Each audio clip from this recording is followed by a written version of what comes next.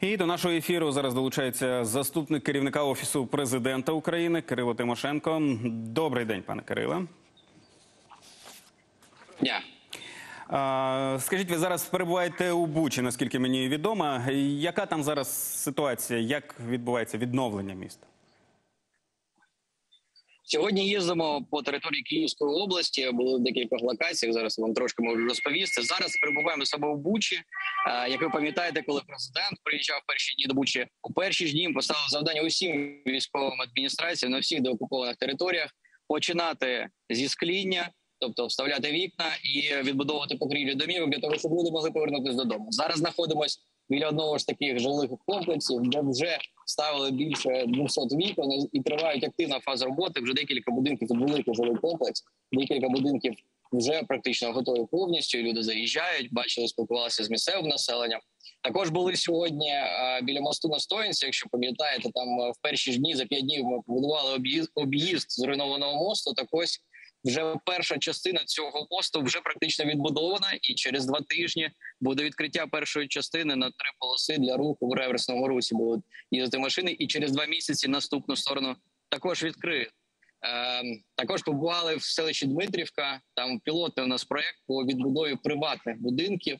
Перших п'ять будинків за місяць будується кожен будинок. Е, Це погодило з родинами, які проживали в зруйнованих будинках приватних. Їм відбудують за місяць домівки, і вони зможуть практично повернутися додому. А в Бучі та Ірпені там же теж є приватний сектор. Як там із е, приватними будинками справи? Дивіться, якщо ми кажемо про приватні будинки, які не повністю зруйновані, звісно, ми робимо усі ремонтні роботи, які потрібно. Це і вікна, і покрівлі, і інші ремонтні роботи, фасадні роботи. Якщо повністю зруйновані будинки, ми от зараз запустили в Київській області такий пілотний проект з перших будинків. Подивимось, е, наб'ємо так, так сказати, вже досвід і зрозуміємо, як можна швидко відбудувати. Але ж ви розумієте, якщо за місяць можна відбудувати один будинок, це можна масштабувати по всій країні. Тому саме ми почали. Не очікуємо нічого, і вже почали пілотний проект для того, щоб масштабувати його і по Київській області, і по Ірпіню, і по Бучі, і по іншим громадам, а також і по іншим областям, якщо ми кажемо про Сумську область, Чернігівську, Харківську і так далі. Якщо йдеться про часові рамки, то чи є вже розуміння, бодай приблизно, скільки грошей часу знадобиться на відновлення інфраструктури в деокупованих містах під Києвом? Дивіться, за завданням президента ми робимо а, каталог фактично кожної області по всій зруйнованій інфраструктурі, яка є. Це не тільки житлова інфраструктура, і дорожня, і школи, і садочки, і медична інфраструктура, адміністративна і так далі.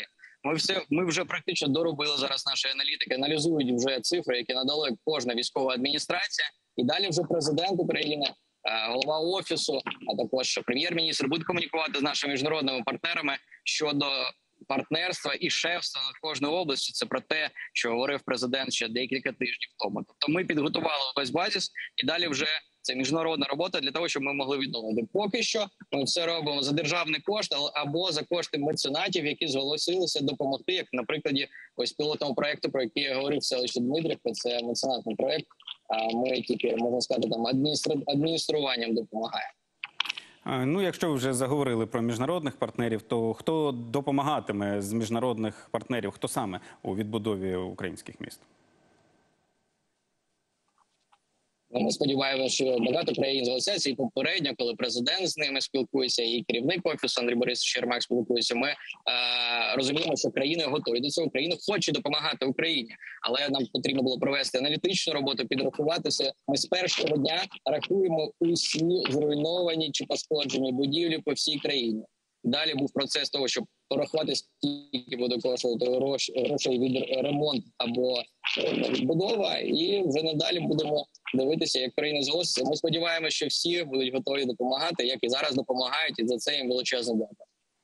А можна говорити про якісь конкретні країни, конкретні проекти, чи були якісь пропозиції вже?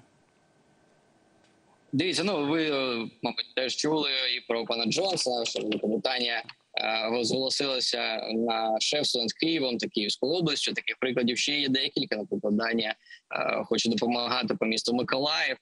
Багато вже країн зголосились попередньо, але це вже робота наших міжнародників для того, щоб фіналізувати ці перемовини і почати відбудовувати. Але ви розумієте, що ми відбудовуємо тільки з дозволу наших військових, тому що ми розуміємо, що військові повинні казати, чи можна відбудовувати повністю міст, чи треба робити тільки поки що тимчасову переправу. Я вам дякую за цю розмову. Це був Кирило Тимошенко, заступник керівника офісу президента України.